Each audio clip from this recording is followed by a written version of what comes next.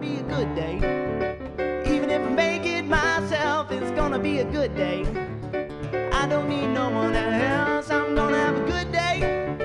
Nothing wrong I could do, I'm gonna have a good day. Hope you have a good day too. Good morning, I'm Trish Pahanik, and this is Cynopsis, your first early morning briefing.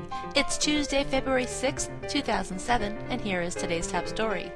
CBS Sports had a super night Sunday with Super Bowl 41, averaging a fast national household rating share of 42.664 from 6:27 p.m. to 10:04 p.m. Now the 9 to 9:30 time period earned the highest rating share of 45.065. Super Bowl 41 was the second most watched Super Bowl ever, averaging 93.15 million viewers. Sunday's NFL Championship telecast also ranks third overall as the most watched program in television history after the series finale of MASH and Super Bowl 30. We have more good stuff coming up, but first this message from the Jaconi S1000. And remember, if you had a promo or a commercial in this video, we'd all be watching your stuff right now.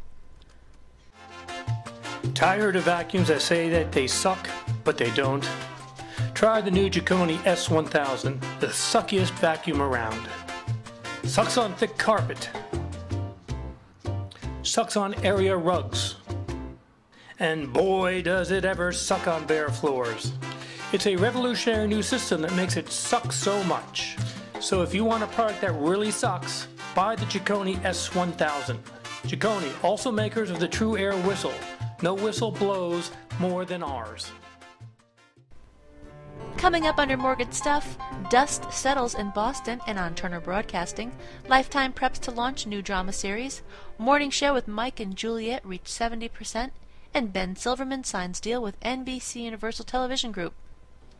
As the cartoon terrorism dust settles in Boston, so does the conversations about just how much Turner Broadcasting and or Interference Marketing Group should pay to the city of Boston and various state and local agencies for the guerrilla marketing stunt that left much of the city paralyzed.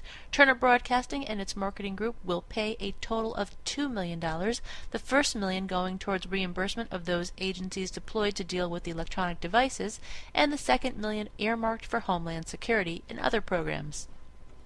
Lifetime Television will premiere a new drama series with a mystical twist, Blood Ties, on March 11th at 9 o'clock, with two one hour episodes back to back. New episodes will then air on Sundays at 10 o'clock. The series, based on the novels by Tanya Huff, stars Christina Cox as a private investigator who takes on supernatural crimes with her 450 year old vampire partner, played by Kyle Schmid.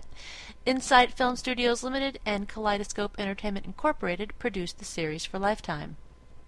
The debut of Comedy Central's The Sarah Silverman Program on February 1st at 10:30 had 1.3 million adult 18 to 49 viewers tuning in, representing a 1.2 adult 18 to 49 rating.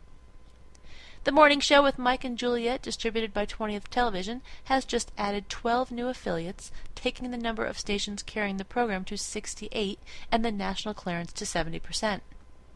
NBC Universal Domestic Television Distribution has sold Law & Order Criminal Intent in more than 85% of the U.S. as a Monday through Friday strip in national syndication for this fall. On to production and development. TV Guide Channel has begun production on a new original weekly series called Making News Texas Style. The 13 episode series is shot on location in Midland, Odessa, Texas, and goes behind the scenes of a local television news station. The program is produced by Nick Davis Productions. NBC Universal Television Group has a new creative agreement with Ben Silverman, which will give NBC and NBC Universal's cable networks a first look at all scripted and unscripted projects from Silverman's Reveille production company over the next two years. Currently, Silverman produces two shows for NBC, The Office and The Biggest Loser, in addition to having three pilots in development with the NBC Universal Television studio. Moving along to broadband and digital, Amp'd Mobile has signed development deals with several top names in Hollywood. The projects include a series of comedy shorts from Jack Black, Dan Harmon, and Rob Schrab, a series from Icebox co-founded by Howard Gordon, executive producer of 24, called The Paranormal News with April Scott on Amp'd Live, Lil Hollywood, a spin-off of Comedy Central's Lil Bush, Resident of the United States, and additional shows in development from AMP staffers including Gold Diggers, Iron Lunch Lady, Fashion Sense, Doggy Style, and Sneaker Freaks. Well, turning to the rating summary for Sunday, according to Live Plus Same Day ratings from Nielsen Media Research, CBS spiked a huge victory Sunday night with a 28.057 adult 18 to 49.